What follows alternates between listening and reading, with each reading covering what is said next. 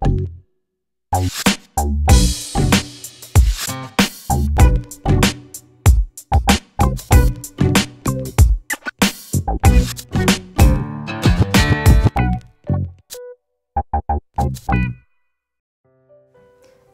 Tit Tot. Pewna gospodyni upiekła pięć placków.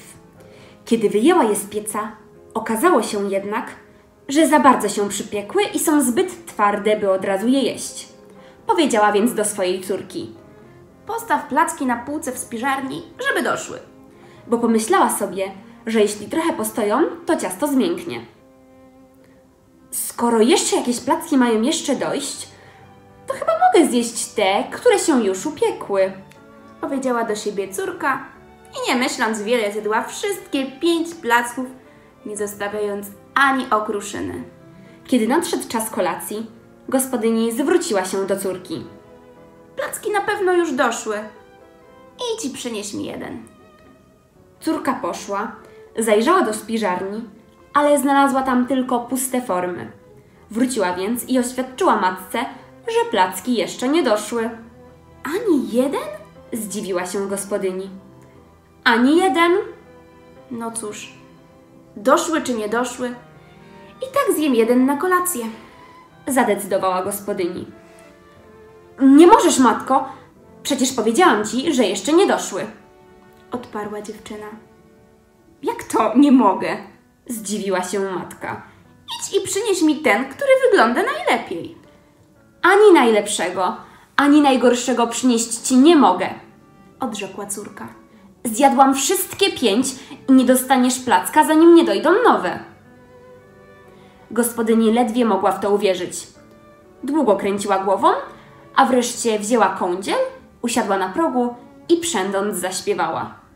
Moja córka dzisiaj zjadła placków pięć. Pięć placków, pięć placków, zjadła ich aż pięć. Akurat nieopodal przejeżdżał król ze swoim orszakiem. Usłyszał piosenkę, ale nie dokładnie zrozumiał słowa. Zatrzymał się więc i zapytał. O czym tak wyśpiewujecie, moja dobra kobieto? Gospodyni, która się zawstydziła przed królem, że ma taką łakomą córkę, odpowiedziała. Śpiewałam. Moja córka dzisiaj uprzędła motków pięć. Pięć motków, pięć motków, uprzędła ich aż pięć. Wasza wysokość. Na mą brodę! Cóż za pracowita dziewczyna! Wykrzyknął król. Nigdy takiej nie spotkałem. I nie bawiąc się w ceregiele, oświadczył. Szukam żony, moja dobra kobieto. I chętnie poślubię twoją córkę. Jednak pamiętaj, przez 11 miesięcy w roku będzie zajadać smakołyki ze złotych półmisków, nosić piękne suknie i bawić się ile tylko dusza zapragnie. Ale gdy przyjdzie dwunasty miesiąc, musi mi codziennie uprzęć pięć motków, inaczej każe uciąć jej głowę. Zgoda. Powiedziała gospodyni, która pomyślała sobie, że oto jej córce trafiła się okazja wspaniałego małżeństwa. A co do pięciu motków, to przecież przez 11 miesięcy znajdzie się na pewno jakiś sposób, by wymigać się od przędzenia. A może i sam król o wszystkim zapomni. Odbyło się huczne wesele. Król dotrzymał słowa. Dziewczyna zajadała smakołyki ze złotych półmisków. Nosiła piękne suknie i świetnie się bawiła. Jednak w miarę jak mijały kolejne miesiące, coraz częściej rozmyślała o tym, co czeka ją pod koniec roku. Jak zdoła uprząść pięć motków w jeden dzień i czy król pamięta o swoim postanowieniu. Nie wspomniał o nim ani słowem, więc miała nadzieję, że o wszystkim zapomniał. Tak nadszedł ostatni dzień jedenastego miesiąca. Wieczorem król wezwał żonę i zaprowadził ją do małej komnaty. Nie było w niej żadnych sprzętów, tylko na środku stał kołowrotek, a przed nim mały zydelek. No, moja droga, nadszedł czas, byś wywiązała się ze swojej obietnicy. Oświadczył król. Jutro zamknę cię tutaj na cały dzień i jeśli wieczorem nie dostanę pięciu motków przędzy, kat utnie ci głowę. Potem wyszedł, zostawiając przerażoną dziewczynę w rozpaczy. Biedaczka ledwie umiała prząść i wiedziała, że choćby nie wiem jak się starała, Nie ma mowy, aby w ciągu jednego dnia zdołała uprząść pięć motków. Usiadła na zdelku i wybuchnęła głośnym płaczem. I gdy tak szlochała, nie widząc znikąd pomocy, nagle nisko, tuż nad podłogą, rozległo się ciche stukanie do drzwi. Dziewczyna wstała i uchyliła je ostrożnie. Za drzwiami stała mała, czarna postać z długim ogonem. Stworzonko popatrzyło na nią z uwagą i zapytało. Dlaczego płaczesz? A cóż cię to obchodzi? Zapytała dziewczyna. Dowiesz się w swoim czasie. Najpierw powiedz mi, dlaczego płaczesz? Cóż będę miała z tego, że ci powiem? Spytała. Tego nie wiesz. Odparł diablik i zakręcił ogonkiem. No dobrze, Powiedziała dziewczyna. jeśli mi nie przybędzie, to i nie ubędzie od tego, że ci powiem. I opowiedziała mu o plackach, motkach przędzy i o wszystkim, co się wydarzyło. Skoro tak, powiem ci, co zrobię. Rzekł na to diablik. Codziennie rano zastukam do twego okna. Zabiorę przędziwo, a wieczorem przyniosę ci motki przędzy. Jak ci się za to odwdzięczę? Zapytała dziewczyna. Czarne stworzenie przyjrzało jej się uważnie spod oka i powiedziało: Każdego wieczora możesz trzy razy zgadywać, jak mam na imię. Ale jeśli minie miesiąc i tego nie odgadniesz, będziesz należeć do mnie na zawsze. Dziewczyna pomyślała sobie, że na pewno zdoła przez miesiąc odgadnąć, jak się nazywa diablik i wyraziła zgodę. A czarne stworzenie aż zakręciło z radości ogonkiem. Następnego dnia król zaprowadził żonę do pustej komnaty i zostawił ją tam z jedzeniem na cały dzień i przędziwem. Jeśli nie uprzędziesz całego do wieczora, Powiedział. kat utnie ci głowę, bo taka była nasza umowa. Potem wyszedł i zamknął drzwi na klucz. Jeszcze nie ucichły jego kroki na korytarzu, gdy rozległo się pukanie do okna. Dziewczyna otworzyła je pospiesznie ujrzała siedzącego na parapecie małego diabełka. Gdzie przędziwo? Zapytał tylko, ona wręczyła mu wszystko, co zostawił król. Wieczorem czarny odmieniec znów zapyka, zapukał do okna, a gdy dziewczyna wpuściła go do środka, wręczył jej pięć motków przędzy. Teraz spróbuj zgadnąć, jak mam na imię. Powiedział: Czy może nazywasz się Bill? Zapytała dziewczyna. Odpowiedział diabełek i zakręcił ogonkiem. A może Ned? Pytała dalej. Nie, nie.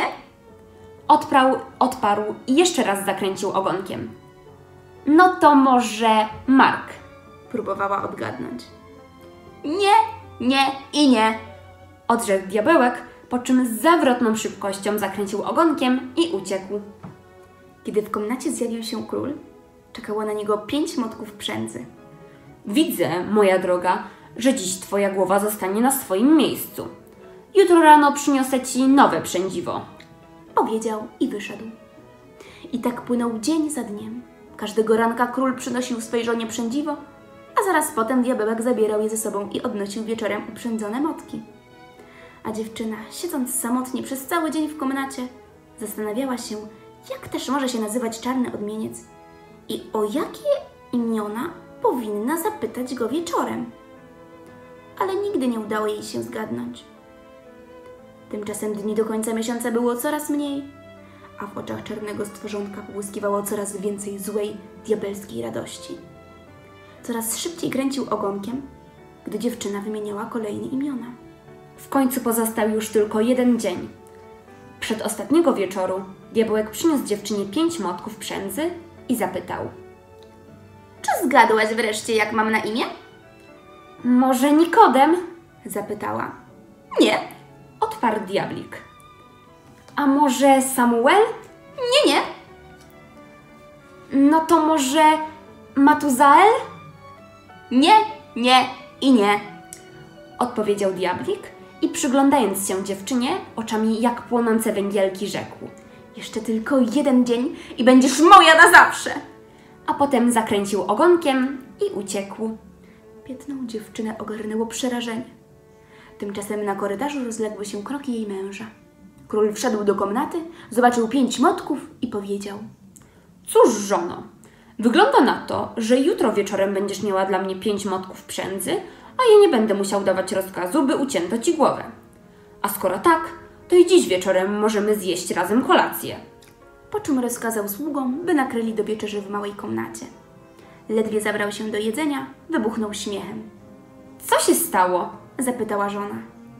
Wyobraź sobie, że wybrałem się dziś na łowy i dotarłem do odległego krańca lasu, gdzie nigdy dotąd nie byłem. Jest tam stara kopalnia kredy. Gdy podjechałem bliżej, usłyszałem z jej głębi ciche podśpiewywanie. Zsiadłem więc z konia, podkradłem się na brzeg urwiska i spojrzałem w dół. A tam, na dnie jamy, siedziało najdziwaczniejsze, małe czarne stworzonko, jakie kiedykolwiek widziałem. Wyobraź sobie, że miało mały kołowrotek i przędło na nim z ogromną szybkością, kręcąc ogonkiem. A gdy tak przędło, śpiewało. Nimy, nimy, not, nazywam się Tom Tit Tot. Kiedy dziewczyna to usłyszała, o mało nie wyskoczyła ze skóry z radości, ale opanowała się i nie powiedziała ani słowa. Następnego ranka diablik przyszedł po przędziwo. Nie odezwał się do dziewczyny, tylko posłał jej spojrzenie pełne złej radości. Wieczorem zastukał do okna, podał pięć motków przędzy, a potem usiadł na parapecie, uśmiechając się od ucha do ucha i kręcąc ogonkiem. Jak mam na imię? Zapytał. Może Salomon? Odparła dziewczyna. Nie, rzekł diablik i wyskoczył i wskoczył do wnętrza komnaty. A może Zebedeusz? Powiedziała, udając wielkie przerażenie. Nie, nie, Odpowiedział i zakręcił ogonkiem tak szybko, że w komnacie powiał wiatr. Zastanów się dobrze, bo jeszcze jedno słowo i należysz do mnie. To mówiąc, wyciągnął ku niej czarne ręce. Dziewczyna cofnęła się dwa kroki, spojrzała na diablika, a potem wybuchnęła śmiechem i powiedziała, wskazując stworzonko palcem. Nimy, nimy, not, nazywasz się Tom Tit Tot. A on, gdy to usłyszał, zaskrzeczał paskudnie, skoczył z okna i przepadł w ciemności tak, że nigdy go już więcej nie zobaczyła.